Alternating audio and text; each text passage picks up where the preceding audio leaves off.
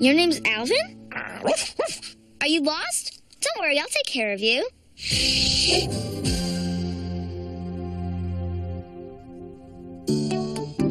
Hmm. Hi, guys. I'll be in my room if anyone needs dance lessons, because sometimes I just gotta shake my jiggy group and booty thing.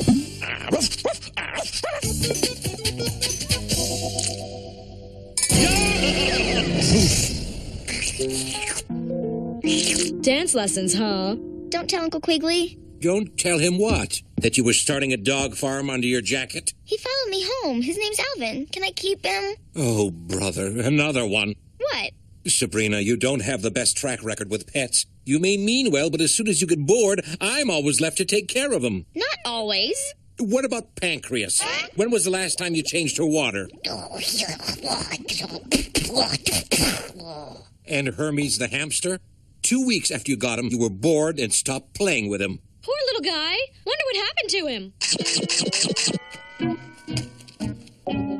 Hi, my name is Hermes, and I never got affection growing up. Hi, Hermes. But this is a whole new ballgame, I promise. Hmm, he is a cute little guy. But his owners are probably looking for him. I'll put up signs. Please. You'd be the best uncle in the nine netherworlds. Look, you scratch his tummy and his leg twitches. Just like Winston Churchill. Or so I'm told. Sabrina, pets require long term constant commitment. I promise I'll train him and feed him and walk him long term. Nobody will even know he's here. Okay, then. But the minute you slack off, young lady, that dog goes to a shelter. I won't let you down. Don't let the dog down. Nay, I just had the worst nightmare. Sabrina came home with, of all awful things, a disgusting, mangy dog.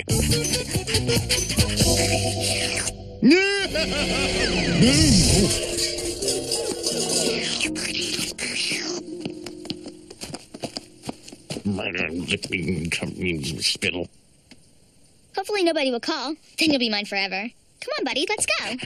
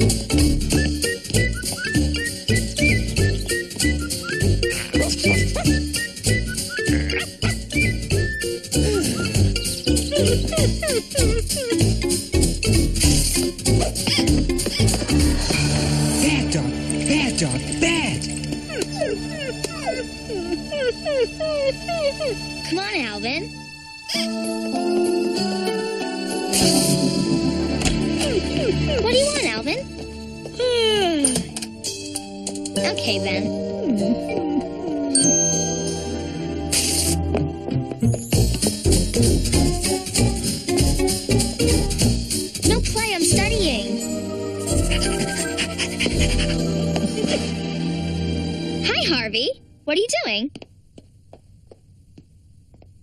You got a game guru? Cool. Me? I'm not doing anything. Just sitting here all by myself, bored.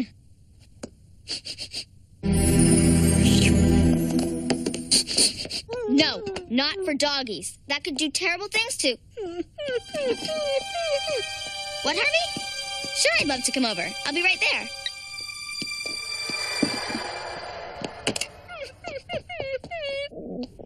Madness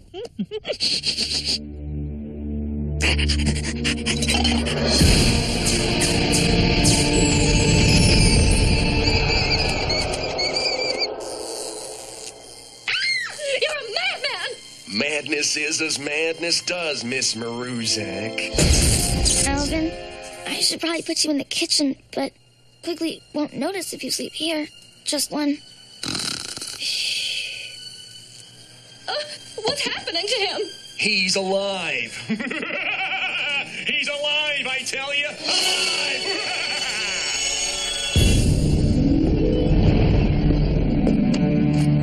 Aardvark. Allegory. Ambush.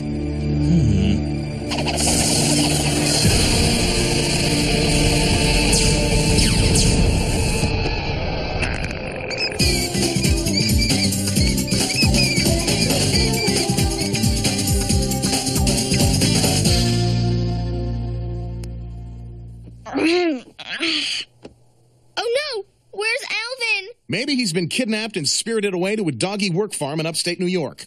Hey, a cat can dream, can't he? I knew I shouldn't have let him sleep up here. Quigley's going to be so mad. Sabrina, I need to talk to you about that pooch of yours. Great job. I'm sorry. I know he's supposed to sleep in the kitchen. I just. Great job. For all the work you've done with that little guy. Why, just this morning, I watched as he let himself in and out the back door with his little tiny puppy wuppy paw. How'd you teach him that? Um. Well, I don't need to know your secrets. Just keep up the good work. Amazing. Just amazing. I didn't teach him that. Maybe he just picked it up on his own. Dogs are idiot creatures that run around in circles for no apparent reason and munch grass till they vomit. Trust me, they don't just pick up on things.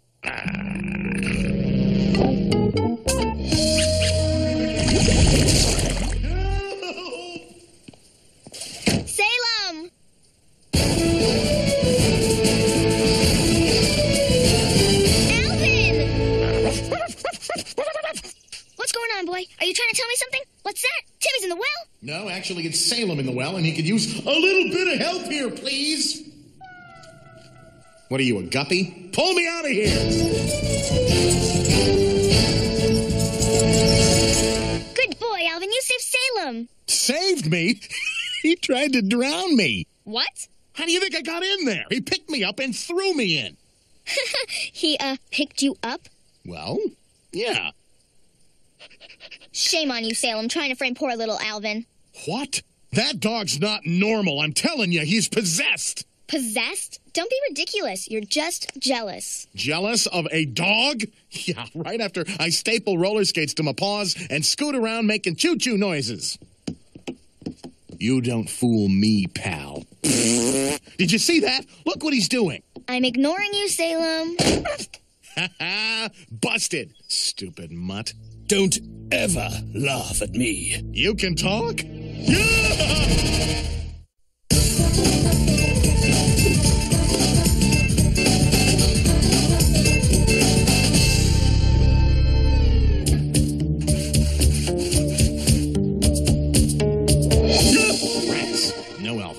Believe me, do they? Think I'm just jealous, huh? Don't believe the precious little dog is possessed? Well, I'll prove it to them.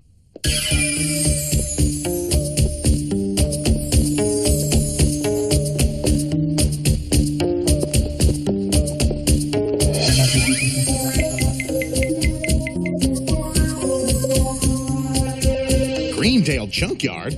What would they be doing? Who's speaking? His name's Alvin, and he's got some radical ideas, I hear. More dogs that can talk? This is my worst nightmare. You know why I've gathered you, brothers? Who in this crowd has been mistreated by the humans? Well, I, I got that right. Yeah. You, Bosley, tell us what they did to you. My name is Bosley. My humans go off to work all day and leave me locked indoors. And if I have an accident, they, they yell. You, Emma. My humans never brush me. They never bathe me. I am constantly bitten by the fleas. I feel dirty and unloved. You, Ling Ling. Yeah, they dress me up in these humiliating little outfits. They stick me in front of a TV camera, and they make me sell fast food egg rolls. And what of me, you ask? The worst offense of all. A girl took me home and I was lost, and she. She forgot I existed. She stopped playing with me and even forgot to feed me. Well, that ends today. The canine race is no longer subject to the cruel whims of humankind. I will lead you, my four legged brethren, to the mountains where dogs run free and hunting is good. Go with humans! But our powers are fleeting. Our power of speech derives from a magical totem. Its power will make us strong. Tonight we strike. The spooky jar is going to the dogs. I've got to warn Sabrina. Eep! Get that cat!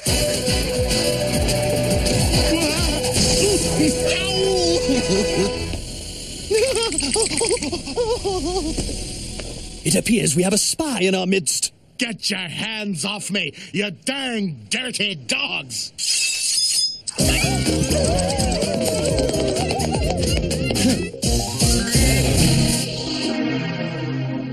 Alvin, here, boy. Where could he be? Alvin? Bosley! Bosley! Emma?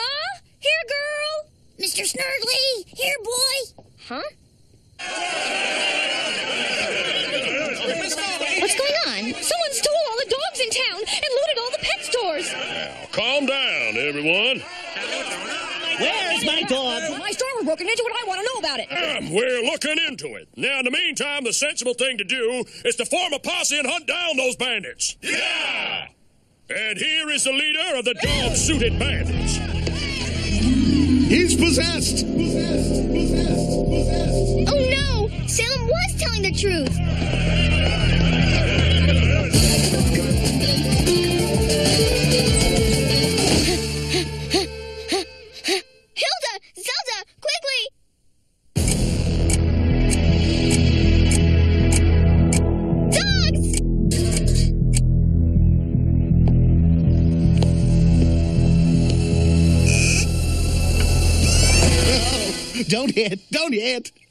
Feeling fragile at the moment. What happened to you? It's Alvin! He's gone mad! I just barely escaped. He kidnapped Hilda and Zelda and Quigley. But why? He's a dog! Do you need any more explanation than that? Ooh. The spooky jar! I had time to lock it all up safe and sound. Safe and sound. safe. It's sound. Hold me. Don't be so pathetic. Wants us to meet at the Tasty Bone Factory with the spooky jar. If we ever want to see our family again.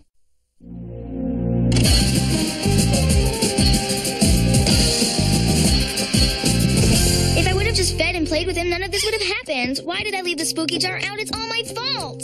I hate to say it, but I told you so. You don't hate it, you love it. Guilty as charged.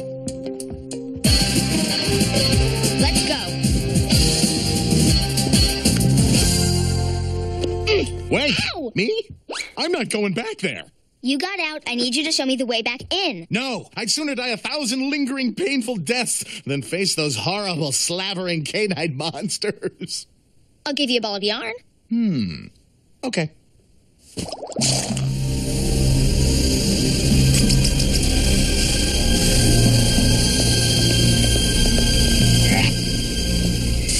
Looks like those two are the only dogs on guard.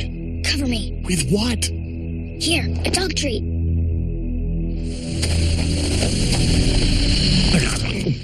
Ugh, lamb and rice? I'm just saying, you gotta ask yourself, is sniffing each other really the best method of saying hello? Uh, interesting point. Uh, interesting. I mean, yeah, why couldn't we just shake hands or something? Really makes you wonder, Fluffy. That it does, Scraps. Uh, that it does.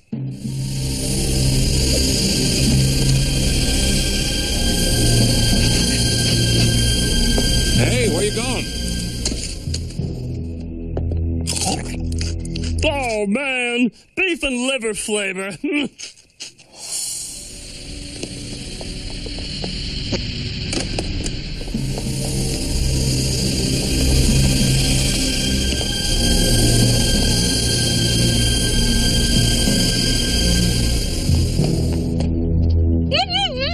What? Behind you! Hello, Sabrina. I've been expecting you. Tito, Bosley, apprehend her! Geranium!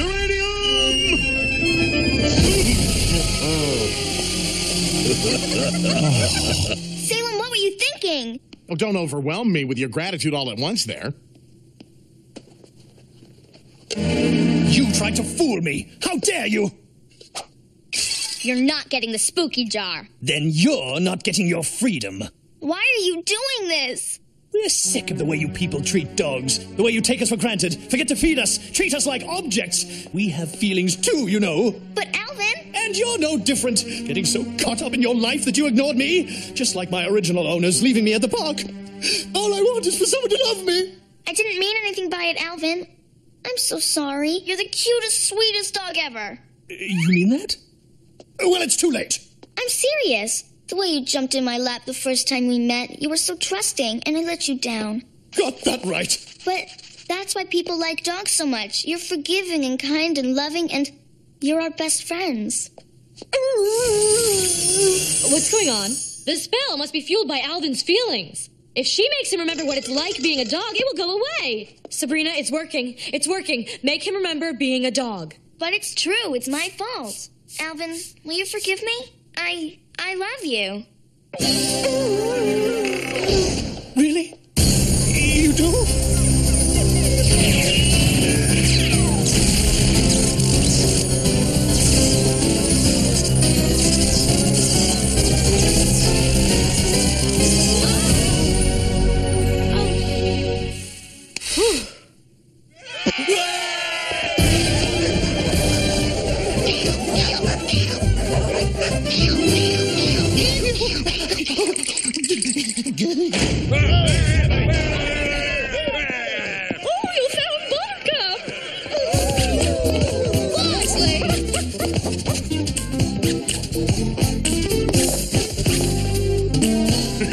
Good work, Quigley. You uh, want to ride in a police car and make the siren go woo? Really? You- You're not toying with me like last time. No, I'm in a generous mood today.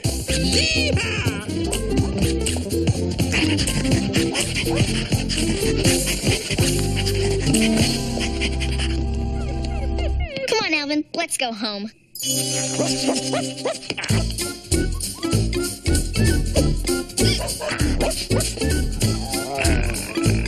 Come on, you flea barge. Throw me the stinking ball. I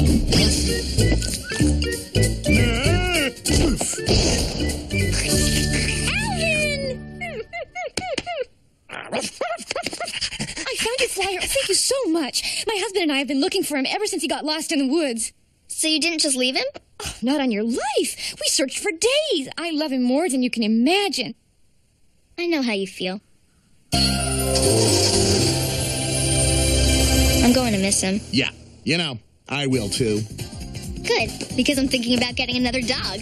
Over my dead, festering body.